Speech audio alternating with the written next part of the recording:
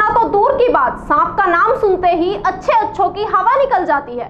लेकिन हरदोई का एक शिक्षक जहरीले सांपों के बिना एक पल भी नहीं रह सकता। ये युवक ना सिर्फ़ सांपों के साथ खेलता है, बल्कि उन्हें गाना भी सुनाता है और जहरीले सांपों के साथ ही सोता है। उत्तर प्रदेश के हरदोई में एक शिक्षक को शौक ने सांपों का दोस्त बना दिया और वह अब सांपों के संरक्षण के लिए मुहिम चला रहा है। हरदोई के कोरिया गाँव के मजरा मढ़िया निवासी आचार्य शैलेंद्र राठौर प्राकृतिक संतुलन बनाए रखने के लिए सांपों को पालता पोसता है और जहरीले सांपों का संरक्षण कर उनको बचाने की मुहिम में लगे हुए हैं। उनकी मुहिम का ही परिणाम है कि हरदोई के कुछ गाँवों में लोग सांप दिखने पर उसे मारते नहीं हैं और शैलेंद्र को फ़ोन कर बुलाते हैं। वह सांप को वहाँ से पकड़कर खुद पालता है या फिर उसे सुरक्षित स्थान पर छोड़ देता है। शैलेंद्र का बच्चों को पढ़ाने के साथ साथ सांप पालने के शौक ने उसे पूरे इलाके में चर्चित कर दिया है।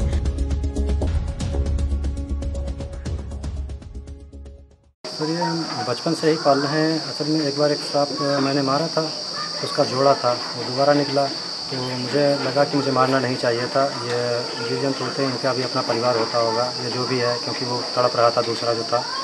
तो तब से मैंने एक संकल्प किया था कि मैं इनको संरक्षित करूँगा, अपने पास रखूँगा। तो अब जब भी गाँव पड़ोस या इधर उधर कोई भी सांप निकलता है तो लोग मुझे फ़ोन कर देते हैं और मैं उनको अपने पास रख लिया करता हूँ। मौसम जब अच्छा देखता हूँ तो उन्हें वापस मैं छोड़ दिया करता हूँ।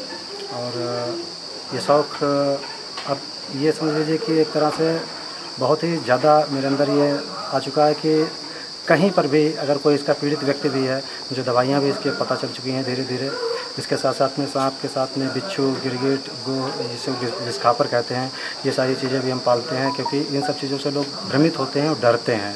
तो एक वैज्ञानिक रूप से इनको दिखाना कि इनमें कितना खतरा होता है या किस तरह से हमारे सहायक भी होते हैं। प्रकृति को संतुलित बनाए रखने के लिए हर जीव की आवश्यकता होती है, इसलिए मैं इनको संरक्षित करता हूँ ताकि लोग इन्हें मारे नहीं और उनका भय छूट जाए। अच्छा डर नहीं लगता आप इनके साथ में रहते हैं चौबीस घंटे?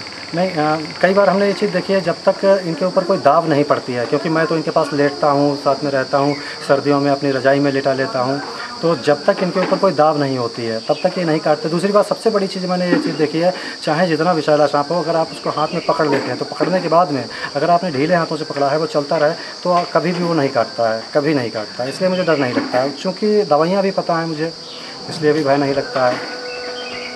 अच्छा कितने लगभग सांप होंगे आपके पास ऐसे? इस समय पर लगभग हमारे पास 10 या 12 सांप होंगे, क्योंकि सांपों को इकट्ठा करना हमारा उद्देश्य नहीं है। हमारा उद्देश्य उनको संरक्षित करना। कहीं भी गाँव में निकल आते हैं, लोग मुझे बुला लेते हैं, वही सांप मेरे पास रहते हैं। कुछ दिनों तक मैं रखता हूँ, उसके बाद मैं उन्हें छोड़ देता हूँ। ऐसा भी नहीं है कि शैलेंद्र पर सांपों ने हमला नहीं किया।